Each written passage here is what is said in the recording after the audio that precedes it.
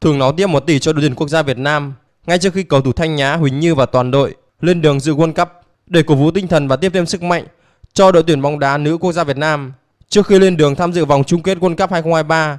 Liên đoàn bóng đá Việt Nam VFF đã long trọng tổ chức buổi lễ xuất quân. Tại đây cầu thủ Huỳnh Như, Thanh Nhã và các đồng đội tiếp tục nhận được những phần quà ý nghĩa từ VFF và nhà tài trợ với 1 tỷ đồng cùng những phần quà ý nghĩa khác mà Liên đoàn bóng đá Việt Nam cùng các nhà tài trợ đã trao tặng cho đội tuyển nữ Việt Nam, thể hiện sự trân trọng, sự nỗ lực và cố gắng bền bỉ của các cô gái vàng để mang lại những thành tích đáng khâm phục và tự hào cho dân tộc Việt Nam. Phần thưởng này sẽ là nguồn động viên không nhỏ cho thầy trò huấn luyện viên Đức Trung trước khi toàn đội lên đường sang New Zealand.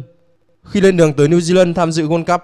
23 cái tên trong danh sách các cầu thủ tham dự chính thức World Cup nữ và cuối tháng 7 của đội tuyển nữ quốc gia Việt Nam cũng sẽ nhận thêm gần 700 triệu đồng tiền mặt từ nguồn hỗ trợ của FIFA. Như đã biết tới thời điểm này, toàn đội tuyển quốc gia Việt Nam đã lên đường sang New Zealand. Đội tuyển Việt Nam được sắp xếp ở khách sạn 5 sao, cách sân tập luyện chỉ khoảng 20 phút di chuyển bằng xe bus. Thầy trò huấn luyện viên Đức Trung sẽ có trận gia quân gặp đội tuyển nữ Mỹ đương kim vô địch vào ngày 22 tháng 7, sau đó gặp đội tuyển Bồ Đào Nha vào ngày 27 tháng 7 và đội tuyển Hà Lan vào ngày 1 tháng 8.